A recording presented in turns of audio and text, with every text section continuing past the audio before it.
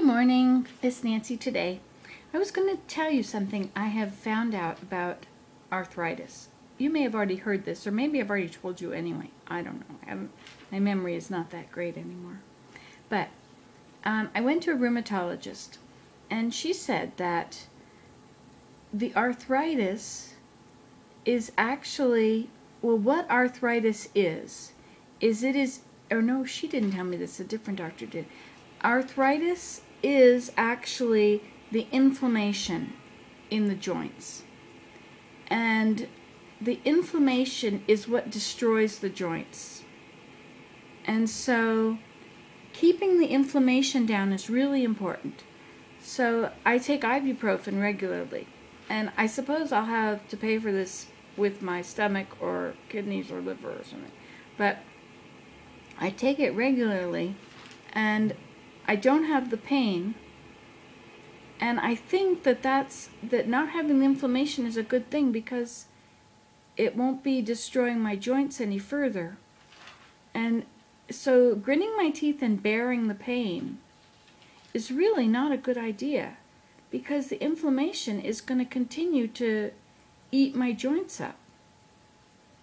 Reminds me of osteomyelitis, you know, I mean that's a whole different can of worms, but that eats your eats your bones.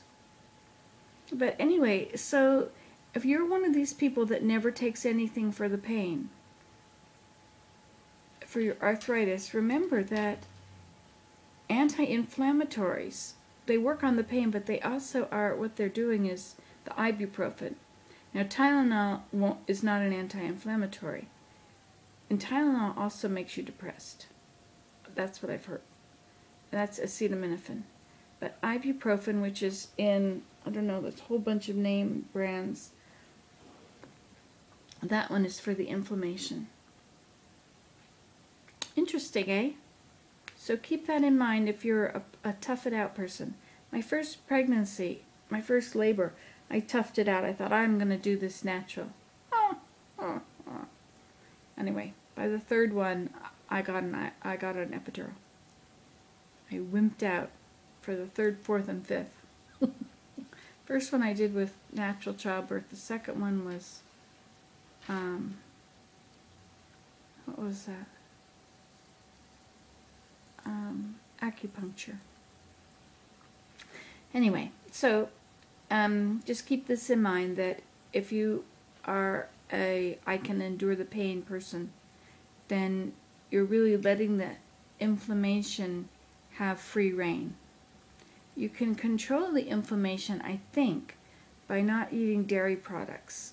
I think that that's what might have caused the pain for me. It might be different for other people, but I've been eating Cheetos, which is totally not, it's totally cheese, so that does my inflammation problems. Anyway, just thought I would just tune you into this in case you didn't know already. Bye-bye. You heard it here last.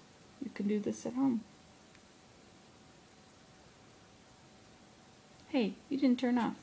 Well, keep smiling.